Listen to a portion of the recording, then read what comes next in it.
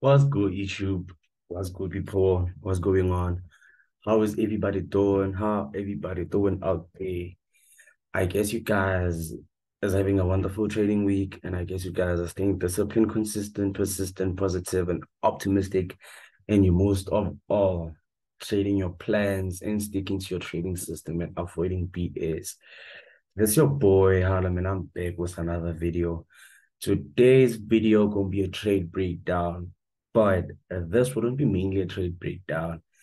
I just want to share the power of letting go of FOMO, trusting, okay, one, you need to let go of FOMO.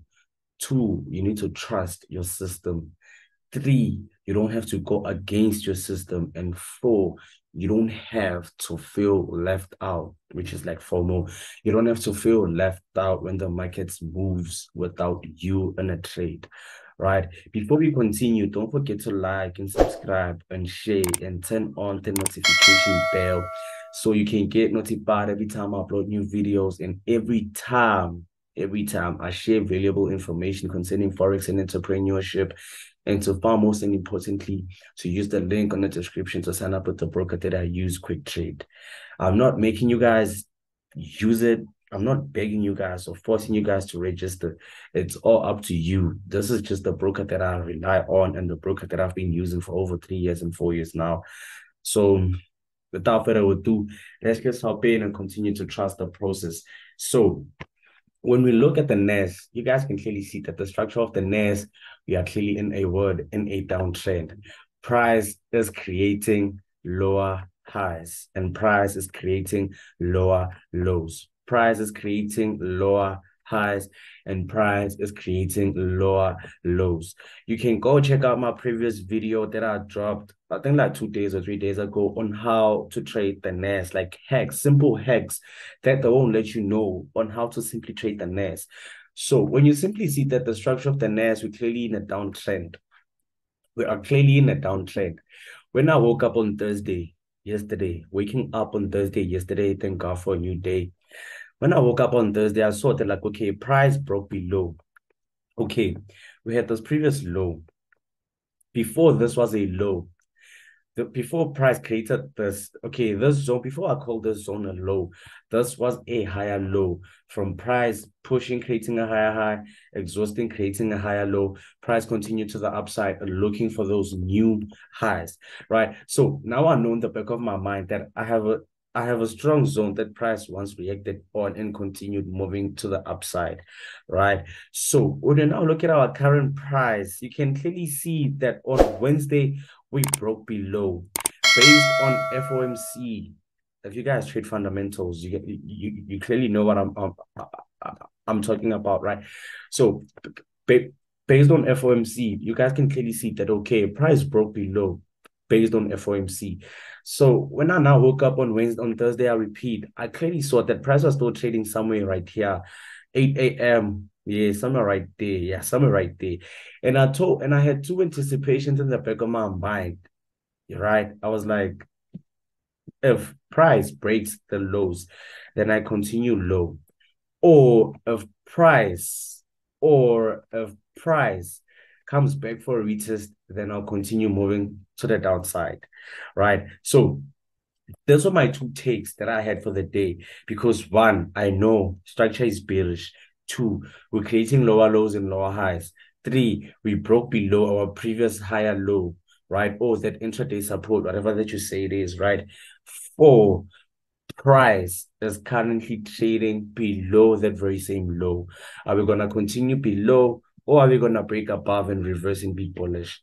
I just didn't know until you have to be patient and until you have to wait on your setups, right? So when now price came back, when now price pulled back, right? Because this was our London pre-London session bullish candlestick. When I saw this bullish candlestick, I was like, you know what, price might come back to the very same zone, but if it comes back, are we gonna break above or are we gonna still trade below and look to be bearish? I don't know. Those were the only those were the other anticipations that I had because you guys know it that forex it's only based on what on anticipations right? Nobody is wrong, nobody is right. But until price does what you anticipated, then I guess you're right. And until price does the opposite, then I guess you're wrong.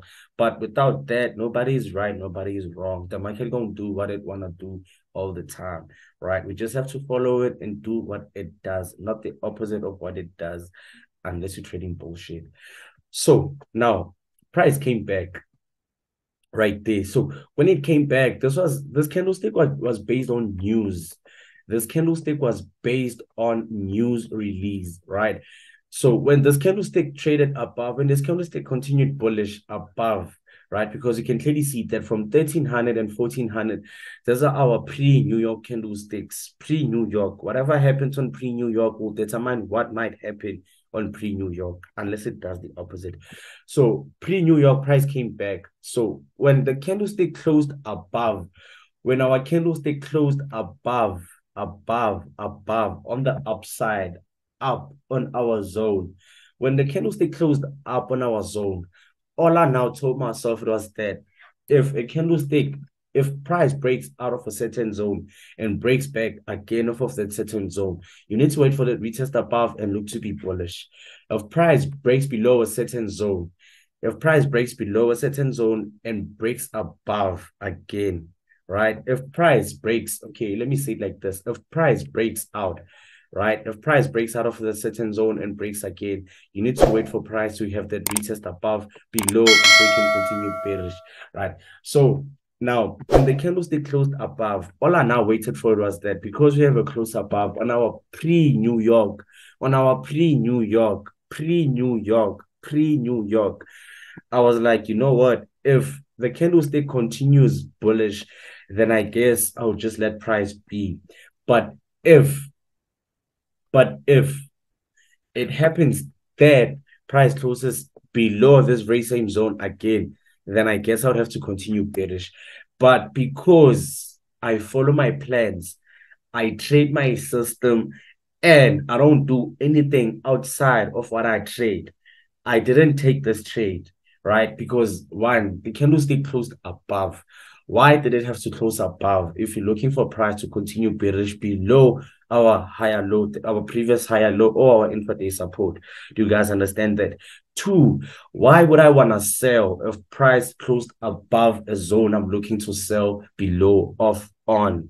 Do you understand? Do you guys get that? And three, why would I want to have, or why would I let FOMO play a major role in my trading? Because um, I feel like price will react the way it has to react without me in a trade. Why? Do you guys get that? So trading depends. Trading is important, people. Trading is just important. Psychology plays a major role, right? Discipline plays a major role. Patience plays a major role. And you, your self discovery, everything that you discover yourself as a trader also plays a major role. So you don't have to go against your trading system because you feel like price will do what you anticipate. If you're looking to sell and price continues buying, don't sell if you're looking to buy and price continues selling, don't sell. That's just how it has to be. But many traders are just so stubborn and so eager to learn some things like this. That's why they keep on losing. Do you guys get that? So this trade was a 100% trade. If we took this trade, we were 100% clean, 240 pips, a clean 1 to 5. But because everything that happened was against my trading plans, my trading system, and everything that aligns with me, right? The important thing that you guys also need to understand is you don't have to hurt yourself. You don't have to hurt yourself. What do I mean by saying you don't have to hurt yourself? You don't have to do anything that doesn't align with your trading. If you buy above, you don't have to buy below. If you sell below, you don't have to sell above. Do you guys get that?